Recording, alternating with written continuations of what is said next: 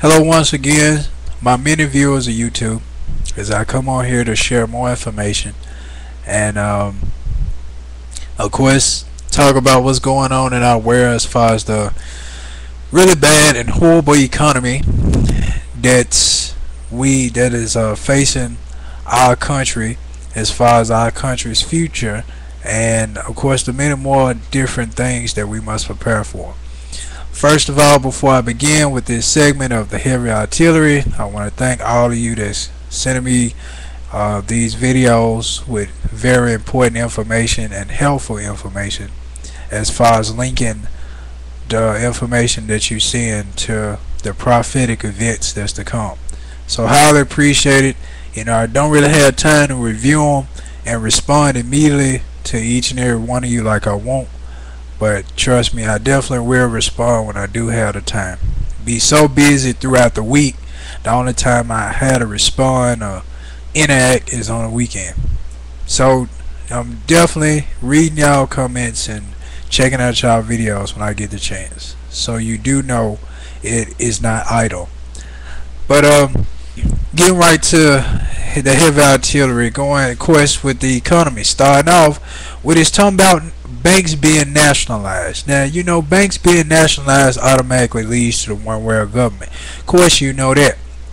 It also leads to the mark of the beast, the Veri, the VeriChip, I believe that's what it's called, leading to that, and it's also leading to the great multitude that's going to follow after Obama, which that one world government up under Obama, leading back to the spirit of Nimrod.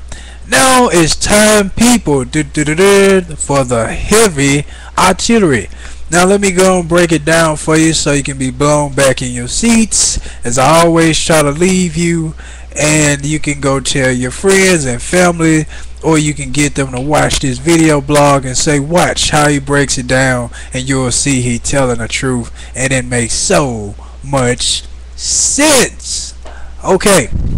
I hate that my camera, you know, it fiddles and faddles. You know, one minute show crystal clear, next minute it seems like it's not lighted enough, at least to me, anyways. But, anyways, getting right to the main thing.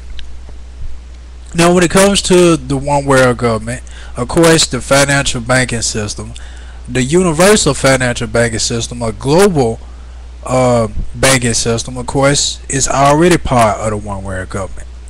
And of course, in order to come, become a part of this global banking system, it's going to lead to that chip where you won't be able to buy or sell because not only is it going to come to, of course, the global banking system, but also the markets, period.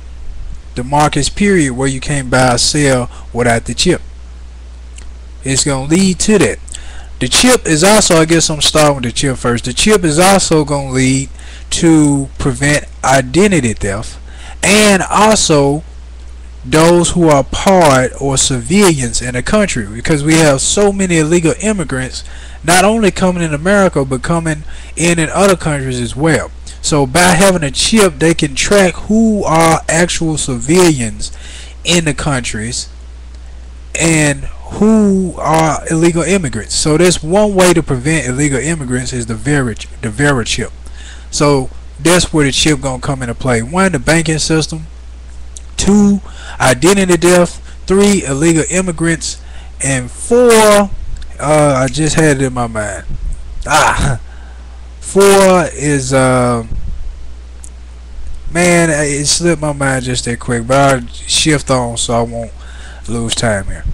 But yeah, those are the three main ones right off as far as what the chip can lead to: identity theft the illegal immigrants, and the banking system.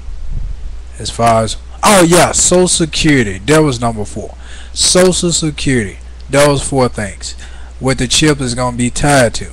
And indeed, it's finna narrow down to that chip because written documents, how people can get access to your bank accounts, just like they tapped into Sarah Palin's email a lot of people in the CIA are monitoring and managing these things, and it is going to boil down to the chip to try to narrow a lot of these problems and complications they having with keeping people's privacy. And the way they're gonna try to keep people's privacy is narrowing it down to that chip being injected into our hands and they figured hey nobody can get access to it and there'd be a computerized chip on locked in a computer only between you and a computer how they can get your information. But other than that no hacking into the system da da da. So that's what a chip come into.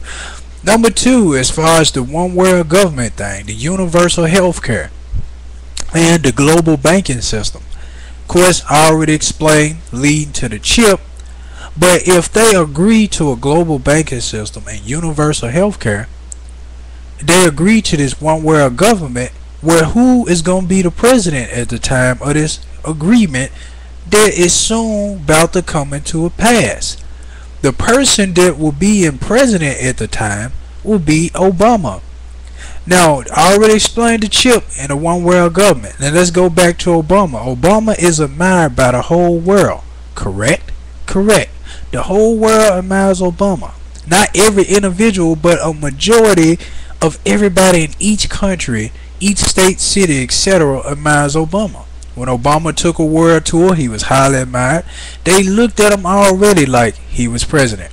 So if Obama is president, and Obama, which he will, and is gonna come soon, is sometime during his term, signs a peace treaty that one world government will be effective, and the chip won't necessarily be effective. Only those who not been paying attention or not been studying and reading up like they should will accept the mark of the beast, will accept the chip those of us who are spiritually aware will try to find some way to resist, possibly even have to martyr. Who knows? But those things will all link and come into play under Obama. Okay, one world government, universal health care. You know, the chip, Obama. Obama is the head over all this. Because it is the United States government that shall be the head over all the rest of the governments. Because right now China and all that is dependent on the United States government for a solution or answer to how to fix this economic crisis. So if Obama is the head, he the president, and we got a one world government, we got a global financial uh, system, we got universal health care, and we got the marks of the beast uh, these chips in all of the countries, all of the unions, these chips placed in the people is to prevent identity theft. People not able to buy or sell without the chip in their body, nor would they be able to be able to um, be tracked or information to be in a system without the, the chip in their body. Link it to Social Security. So think about it for a second. You got all these doc. That's a whole lot of paperwork to keep up with everybody in the world under a one world government system, right? That's a whole lot of paperwork. So what solution would they use to try to narrow down that paperwork? Chips. Narrow down a big thick stack of paperwork, your tax information, your birthright, all of that birth certificate, da da da, narrow it all down into a little tiny chip where it has all of your information on the chip.